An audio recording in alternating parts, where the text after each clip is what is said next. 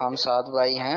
मैं काम कर रहा हूँ तो क्या मैं अपने लिए सिर्फ़ कमा सकता हूँ या अपने बच्चों के लिए? अपने छोटो भाइयों को भी लिए भी कमा सकता हूँ ना? देखें अपने लिए अपने बच्चों के लिए और छोटे भाई अगर जैसे ये छोटे कह रहे हैं तो बाज़ार ये समझ आता है कि वो कमाने के लायक नहीं है।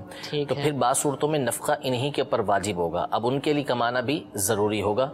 लाजिम होगा इनके ऊपर कि उनको भी जो है वो नफका ये उठाएँ जबकि ये इस बात पर कादिर हैं कि उनका नफका उठा सकते हैं। अब छोटे भाइयों के लिए कमा रहे हैं तो बहुत अच्छी बात है। यानी छोटे भाइयों की परवरिश कर रहे हैं उनकी तरबियत कर रहे हैं कि वो बेरा रवि से बचें कोई दूसरा उनको संभालने वाला नहीं है तो बहुत अच्छी बात है कि अगर ये इनके लिए कमाएँगे तो अल्लाह की बारगाह में इनके लिए बाई से अजर होगा। साहबा कराम अली रिदवान बैठे हुए थे नबी करीम सल्लल्लाहु अलैहि वसल्लम की बारगाह में तो एक नौजवान जो है वो बड़ी तगोदो के साथ नज़र आया कि इधर उधर जा रहा है। तो साहबा कराम अली मृदवान ने अर्ज़ की कि काश के ये अल्लाह की राह के अंदर इस कदर कोशिश करता यानी काम काज में लगा हुआ इससे अच्छा इल्म दीन सीखता हाँ इसमें लगा रहता।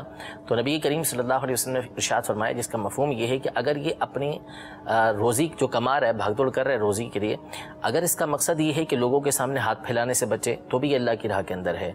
अपने बूढ़े वालदेन की खदमत के लिए कमा रहा है, उसके लिए कोशिश कर रहा है तो भी अल्लाह की राह के अंदर है। बच्चों के लिए कमा रहा है तो भी ये अल्लाह की राह के अंदर है। अल्लाह तबारक वाली इस बात को पसंद करता है कि खुद कमाएँ खुद खाएँ और दूसरों को भी खिलाएँ। यानी हाथ जो नीचे वाला है ऊपर वाला हाथ नीचे वाले हाथ से बेहतर होता है। तो हाथ यूँ नहीं बल्कि यूँ होना चाहिए देने वाला होना चाहिए। ये अल्लाह तबारक व को पसंद है।